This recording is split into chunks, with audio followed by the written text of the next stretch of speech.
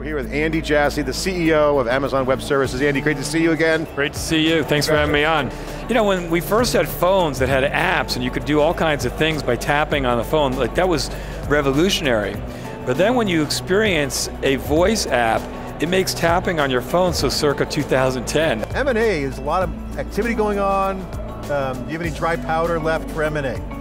We sure do, and, and, we've already made some acquisitions, both in the, the Dell EMC level and at the VMware level. And of course, Dell Technologies Capital, we're now having a bit of a coming, art, coming out party explaining what we're doing with the portfolio and the new investments and you know, lots of new investments in machine learning, deep learning, security, and cloud and all the kind of uh, next generation business models that are important to us. Um, so for us, when we talk about being a data company, we can't do it from just even being a chip. We have to be a solutions partner with cloud service providers, enterprise, IoT edge solutions. We try to be there. Customer things that we talked about, you know, touch briefly on like the IoT stuff.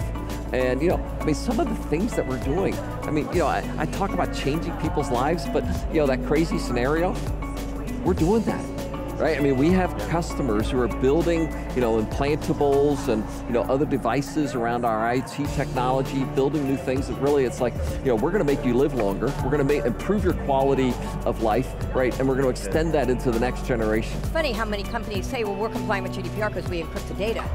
And I go, well, if you're not legally allowed to have that data, that's not going to help you at all. And unfortunately, I think that's what a lot of companies think that as long as we're looking at the, the security side of the house, we're good. And they're missing the whole boat on GDPR. So for me, the, the Intel is not a, uh, a chipset company, okay?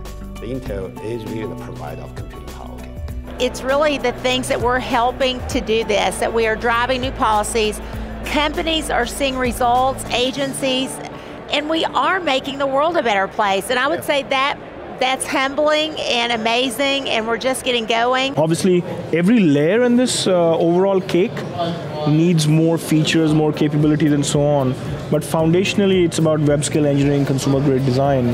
And if you're doing these two things, getting more workloads, getting more geographies, getting more platforms, getting more features, all those things are are basically a rite of passage. You know, you need to continue to do them over time. Actually, really great TED talk just went up by Zeynep Tufekci, where she talks about the most brilliant data scientists, the most brilliant minds of our day are working on ad tech platforms that are now being created to, you know, essentially do what Kenyatta Cheese calls, you know, advertising terrorism, which is that all of this data is being collected so that advertisers have this information about us that could be used to create the future forms of surveillance. There, there's always a vulnerability, and it will be exploited. And, and all that metadata that's unscrubbed, I'm not worried about them selling metadata that's scrubbed. I'm worried about the nation state or the sophisticated actor that's already has a remote access Trojan on the network and is exfiltrating in real time. That's the guy that I'm worried about. We have more things to solve, but it's not just on us.